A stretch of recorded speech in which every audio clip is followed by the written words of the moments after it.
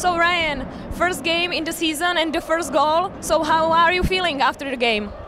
Uh, I thought uh, thought we played well. Uh, I felt good. I mean, uh, we've been working hard in training camp, so uh, the hard work is paying off. But uh, as a team, I thought we played really well, and um, you know, Polevka played really good in net for us, and it was just a solid game.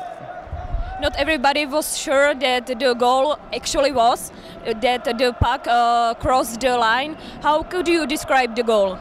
Uh, it was just a good good job by uh, by my line mates and just just good hard work down low and getting the puck to the net and I just I was just in front of the net and put in the rebound so I was just doing my job.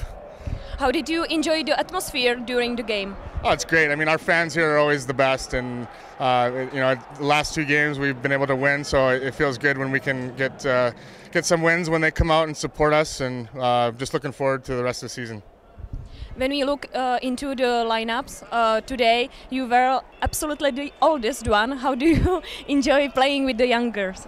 Ah, they make me feel young. So, uh, you know, no, it's. I mean, that's what it is. It's training camp, and you know, my job as an older guy is to provide leadership and uh, you know, just to just to set set a tone for the work ethic and.